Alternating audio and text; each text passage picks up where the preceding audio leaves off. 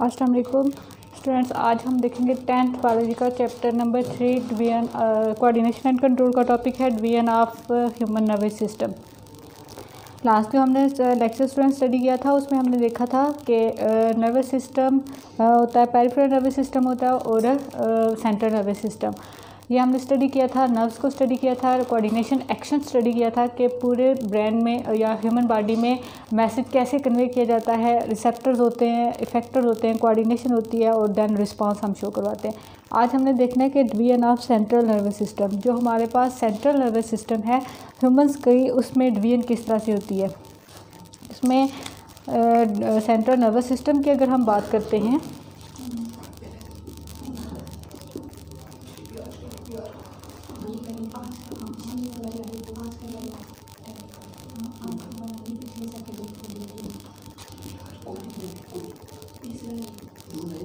Human nervous system जो है वो डिवाइड होता है दो सिस्टम में। एक होता है सेंट्रल नर्वस सिस्टम दूसरा होता है पेरिफेरल नर्वस सिस्टम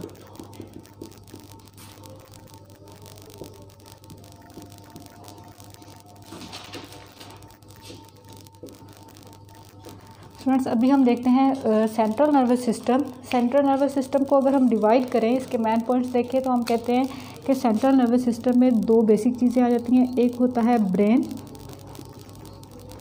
इसके साथ दूसरी चीज़ है स्पाइनल कॉर्ड जो पेरिफेरल नर्वस सिस्टम है, इसमें बेसिकली आ जाती हैं वो नर्व्स जो ओरिजिनेट होती हैं ब्रेन से या फिर स्पाइनल कार्ड से. आज हमने जो हमारा बेसिक पॉइंट है, वो है ब्रेन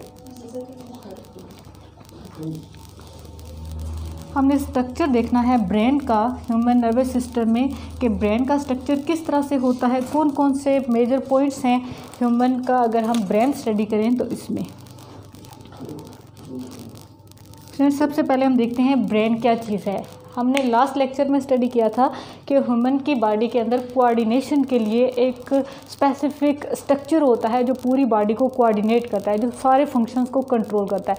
ह्यूमन्स की बॉडी में वो कोऑर्डिनेटर या वो मशीनरी कौन सी है? वो हमारा ब्रेन है, जो सारी की सारी लाइफ एक्टिविटीज़ को कंट्रोल करता है। अब हम ये कहते हैं कि हमारा किडनी क्यों नहीं जो है वो कंट्रोल कर रहा, हमारा लीवर क्यों नहीं कंट्रोल कर रहा, हमारा लंग्स क्यों नहीं कंट्रोल कर रहे, हमारी कोऑर्डिनेशन सिस्टम को हर चीज़ का हमारी बॉडी के अंदर स्पेसिफिक फ़ंक्शन है। फ़ंक्शन इस तरह से है कि जैसा स्ट्रक्चर है स्ट्रक्चर के हिसाब से उसका फ़ंक्शन है। जो ब्रेन का स्ट्रक्चर है, वो स्पेसिफिक है कि उसने क्या करना है, उसने पूरी बॉडी की जो एक्टिविटीज़ हैं, उनको कंट्रोल करना है। कि ब्रेन के अंदर स्पेशलाइज किस्म के स्ट्रक्चर प्रेजेंट हैं, जो क्या करते हैं, जो कोऑर्डिनेशन को कंट्रोल करते हैं। अब ये ब्रेन होता किधर है? स्ट्रेस ये ना तो ये टांगों में होता है, ना ये बाजू में होता है, ना ये आपके पेट में है। ब्रेन किधर है? ब्रेन आपके स्कल में है और स्कल को आप स्कल को आप कहते हैं क्रेनियम आपका ब्रेन किधर है? क्रेनियम के अंदर। जो आपकी खोपड़ी है, जो आपका स्कल है, उसके अंदर है आपका ब्रेन हमने देखना है कि ये ब्रेन का स्ट्रक्चर किस तरह से है। सबसे पहले अगर आप अपने जहन में कोई स्कल कंसीडर करें तो आप कहते हैं कि सबसे पहले आती हैं थ्री लेयर्स ये क्रेनियम के साथ सबसे पहले आ जाती हैं थ्री लेयर्स ब्रेन की। इनको, ये जो लेयर्स हैं, इनको आप मेम्ब्रेन्स भी कहते हैं, इनको आप मिनेंजिस भी कहते हैं।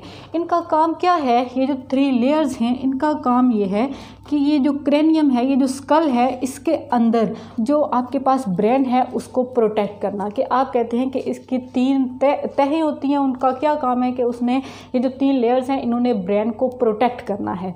अब अगर कोई इंजरी हो जाए, कोई एक्सीडेंट हो जाए, ये जो तीन लेयर्स होती हैं, ये आपके ब्रेन को प्रोटेक्ट कर रही होती हैं प्रोटेक्शन प्रोवाइड करती हैं। अब क्या होता है, एक तो आपने कहा कि क्रेनियम के अंदर तीन लेयर्स होती हैं, दूसरा आप कहते हैं कि इस क्रेनियम के अंदर एक और चीज़ भी होती है, जिसको आप कहते हैं फ्लूड टाइप चीज़ होती है। इस फ्लूड का नाम क्या है? सेरिब्रोस्पाइनल फ्लूड क्रेनियम के अंदर एक चीज़ आपने कहा कि मेम्ब्रेन होती हैं, तीन लेयर्स होती हैं जिनका काम है कि उन्हें ब्रेन को प्रोटेक्ट करना है। दूसरा स्कल के अंदर एक फ्लूड होता है। फ्लूड वाली कोई चीज़ होती है जिसको उसने नाम दिया है cerebrospinal fluid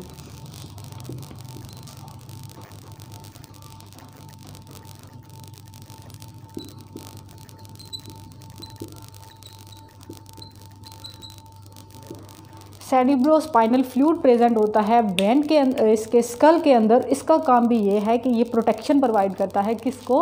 आपके ब्रेन को। अब हम ब्रेन के पार्ट्स को स्टडी करते हैं कि हमने डिवाइड किया है ब्रेन को तीन मेजर पार्ट्स में। सबसे पहले हम कहते हैं कि ब्रेन में आ जाता है हाइंड ब्रेन,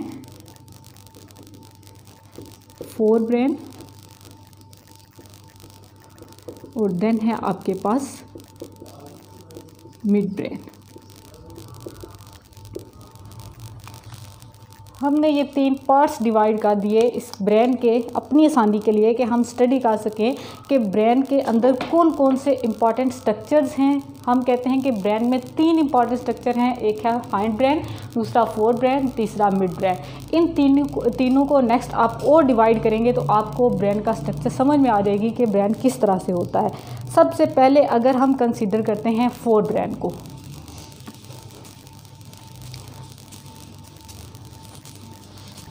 स्टूडेंट अगर आपको मैं एक सैंपल दिखा दूँ इसका ब्रांड का कि ब्रांड किस तरह से होता है तो आपको इसमें से मज़ीद समझ आ जाएगी कि ब्रांड का सैंपल किस तरह से होता है।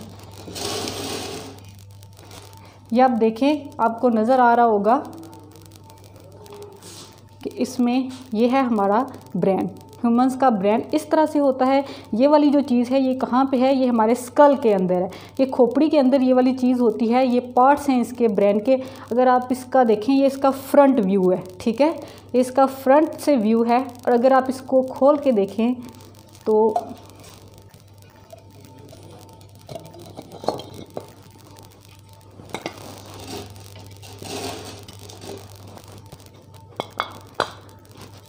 ये इस तरह से आपको ये स्ट्रक्चर नज़र आता है, ठीक है? ये इसका इनसाइड व्यू है, ये इस तरह से देखें, इस तरह से बिल्कुल पैक्ड होता है, ठीक है? समझ आ गई सब लोगों को? ये नेक्स्ट हम इसका एक और ग्राफ भी देखेंगे, हम इसकी समझ आ जाएगी कि ब्रेन का स्ट्रक्चर किस तरह से होता है।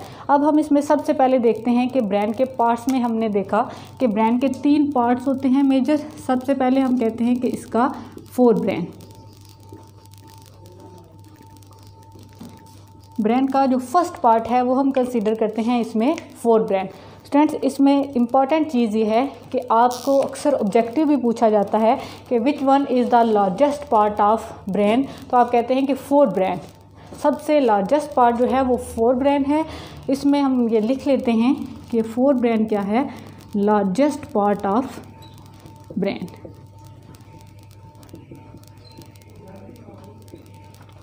largest part है और हम ये कहते हैं कि ये जो फोर ब्रेन है, ये ह्यूमंस के अंदर फुली डिवेल्प्ड होता है।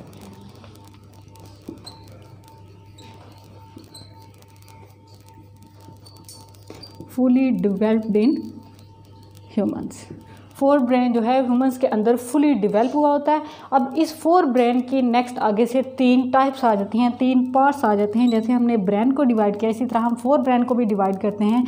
इसमें सबसे पहले आ जाता है सेरिब्रम नेक्स्ट है हमारे पास थैलमस।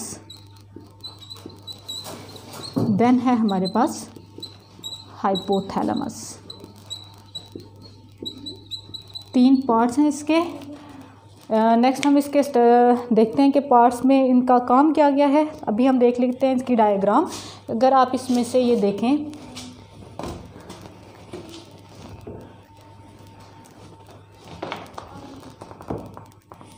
नज़र आ रहा है।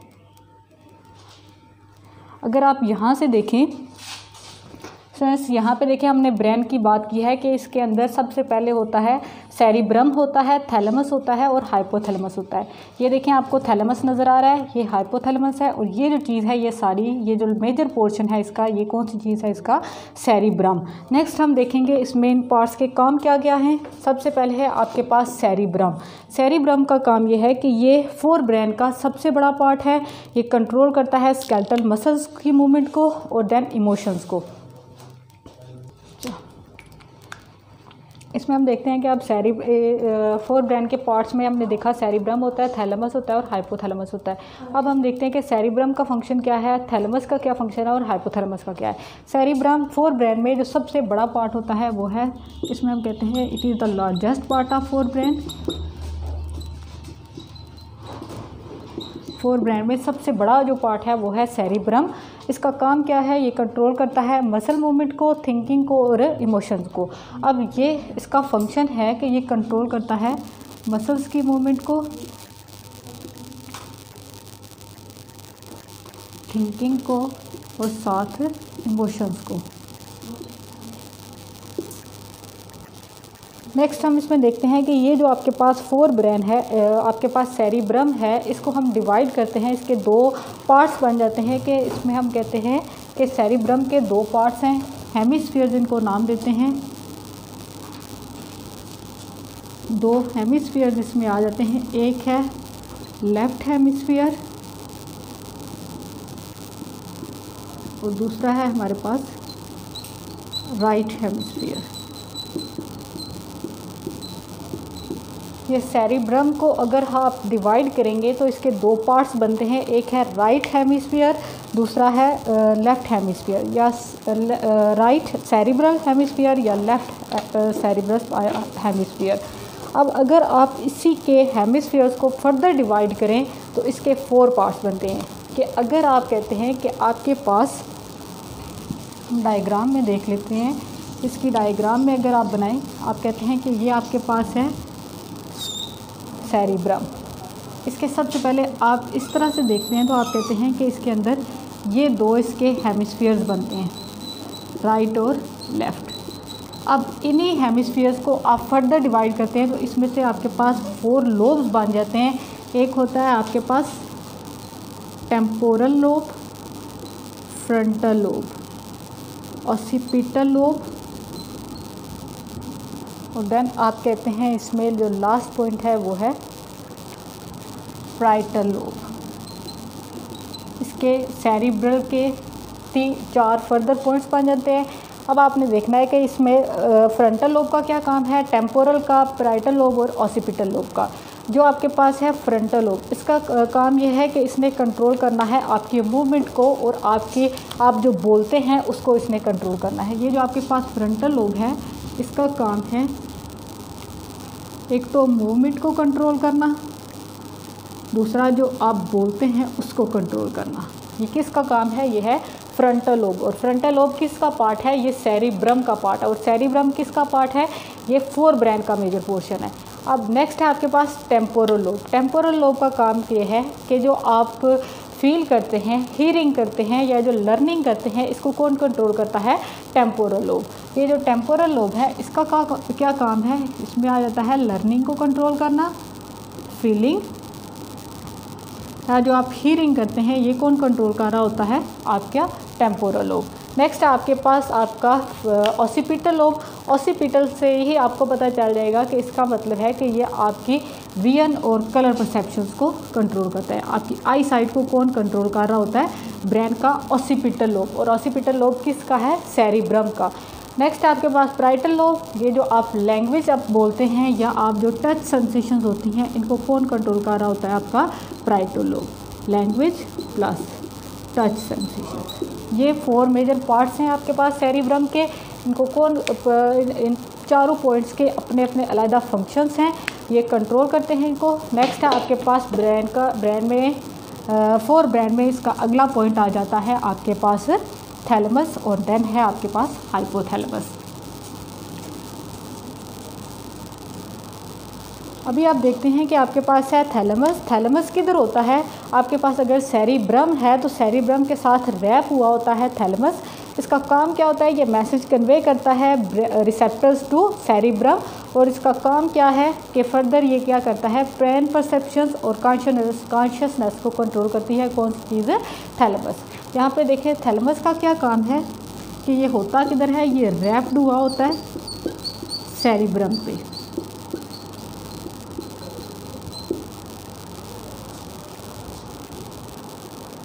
इसका काम क्या है कि ये मैसेज कन्वे करता है? कन्वे मैसेज टू सेरिब्रम और कंट्रोल करता है ये पैन परसेप्शंस को। उसके साथ कॉन्शियसनेस को। देन लास्ट पॉइंट है, आपके पास हाइपोथैलेमस ये होता किधर है? हाइपोथैलेमस मिड ब्रेन के ऊपर होता है अबव द मिड ब्रेन और बिलो द थैलेमस इसका साइज़ ऑलमोड साइज़ होता है और इसका काम क्या है कि ये बॉडी टेम्परेचर हंगर और थस को कंट्रोल करता है और इसका काम क्या है फर्दर के ये कंट्रोल करता है पिचोटी ग्लैंड की सिक्रीशंस को. कि ये होता किधर है? मिड ब्रेन के साथ कंट्रोल करता है ये थर्स्ट को हंगर इन चीज़ों को ये कंट्रोल करता है और जो इसका मेजर फ़ंक्शन है वो है, ये कंट्रोल करता है पिच्योटी ग्लैंड की जो सिक्रीशंस होती हैं उनको। ये है आपके पास फोर ब्रेन नेक्स्ट है आपके पास मिड ब्रेन मिड ब्रेन किधर होता है?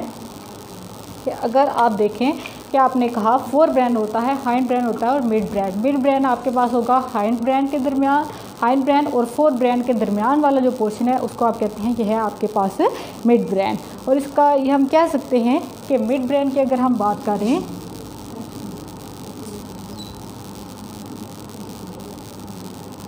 तो मिड ब्रेन हम कहते हैं कि ये होता है forebrain plus hard brain के दरमियान। अगर ये इन दोनों के दरमियान में है तो इसका मतलब ये क्या करता है ये ब्रिज प्रोवाइड करता है दोनों के दरमियान या ये जो कनेक्शन प्रोवाइड करता है इन दोनों के दरमियान। इसका काम क्या है कि ये आपको स्लीप अलर्टनेस देता है। कि किस के लिए? कि आप कहते हैं कि मिड ब्रेन का काम क्या है? एक तो ये दोनों के दरमियान मैसेज कन्वे करता है, दूसरा ये स्लीप अलर्टनेस को कंट्रोल करता है। तो नेक्स्ट हम देखेंगे इसके अंदर हाइंड ब्रेन का क्या काम है हाइंड ब्रेन के फ़ंक्शंस कौन कौन से हैं? अभी आपने पढ़ा है फोर ब्रेन और इसमें मिड ब्रेन ये ब्रेन के पार्ट्स हैं। अल्लाह हाफिज़।